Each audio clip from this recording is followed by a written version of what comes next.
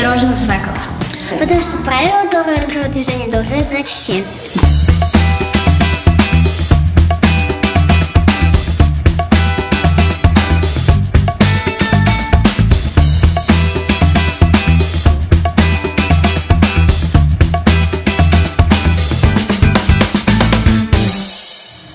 Это поделка из бисера плетения, которая называется невеста. Как украшение интерьера мы могли бы поставить эту поделку, где, например, мало света, она бы придавала бы красивый интерьер комнате. Это вязаная кукла, ее зовут Маруся. Маруся моя первая кукла. Так она моя первая кукла, мне было сложновато. Но мне помогала мама, мы справились. Эту куклу я сделала примерно на три дня. Мне очень понравилось заниматься вязанием.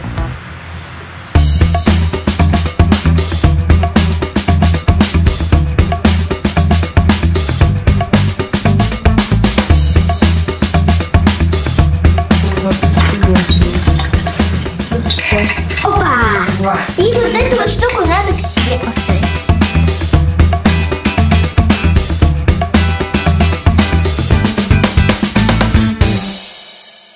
Я изготовила стеганую куртку душегрею э, по тенденциям современных моды.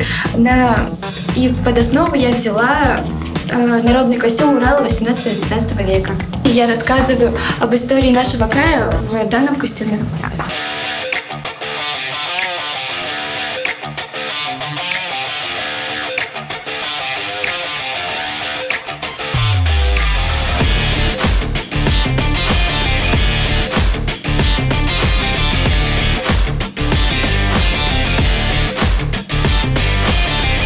В этом году мы решили сделать макет ракеты «Восток-1» в уменьшенном масштабе.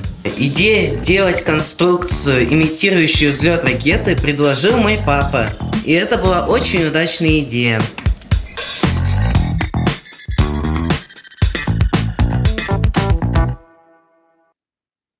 Сейчас я подношу небольшой светодиод. То есть, как видим, лампочка ни к чему не подключена, но при этом она светится. Трансформатор Тесла является одним из альтернативных источников энергии и, в принципе, используется, например, в двигателях для того, чтобы зажечь.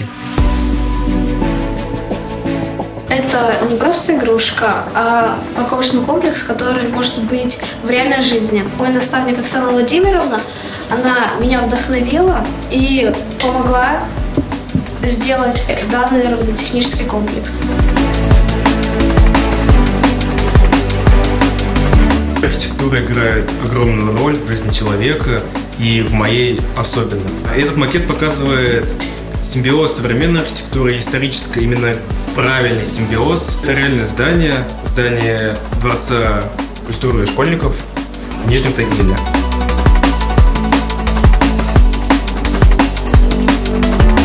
На выставке я представила свою работу. Это понос, и на нем изображено очень знаменитое место в Нижнем Тагиле. Это набережная Тагильского пруда. Здесь изображена ротунда.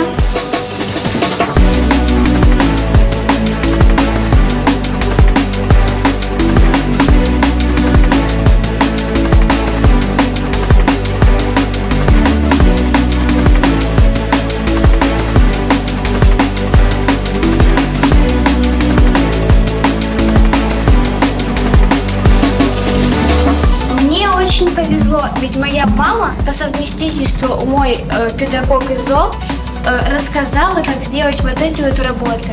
Они выполняются с помощью специальных игл. Эту же птицу я делала ну, примерно месяц, оставаясь у мамы после уроков, а она тетрадки проверяла в это время. У меня папа военный, и военная тематика мне очень близка. И когда мне предложили поучаствовать в выставке, я выбрал тему а, 80-летие с Ленинградской битвы. Основа сделана из пенопласта, и на нее я нанес эм, имитацию земли, которую я сделал из цемента, из песка, из сухих веток. А сам дом и вот эти кирпичики я сделал из пеноплекса. Я опирался на исторические фотографии и пытался сделать дом, как он в реальности. Мне захотелось сделать что-нибудь масштабное. И так как мы из семьи военных, то я решила сделать макет битвы на Кольской дуге. Эту поделку мне помогала сделать моя мама. Она подбирала материал. Мы очень долго думали, как сделать э, деревья. Тут я нашла видео в интернете, как делают похожие работы из губок.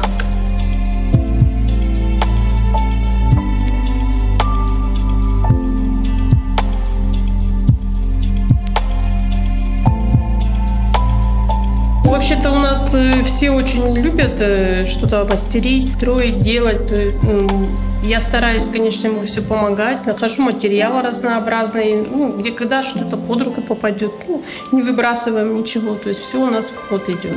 И иметь вот такое семейное творчество, то есть э, я считаю, что должно вообще это происходить в каждой семье. Это сближает с детьми.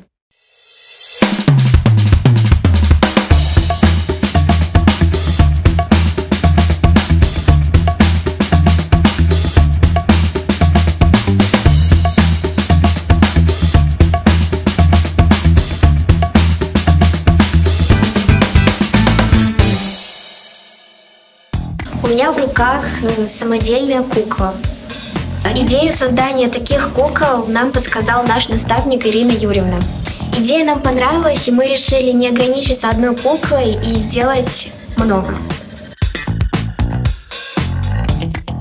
Как вы видите, все наши куклы разные и не похожи друг на друга.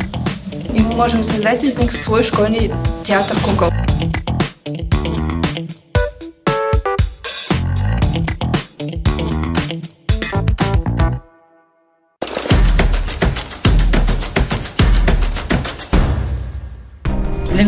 Идеальный наставник – это человек, который вдохновляет, который, у которого много энергии.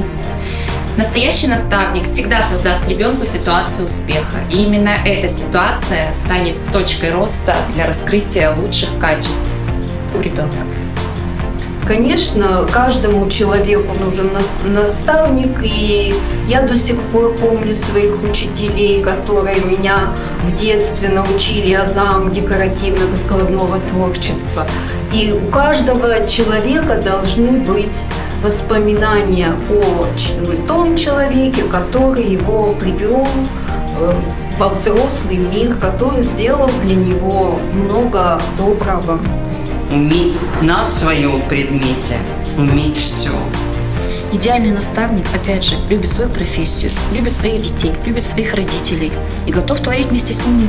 То есть не просто выдать предмет, выдать материал, дать знания ребенку по предмету, да, а э, чтобы заинтересовать ребенка этим самым.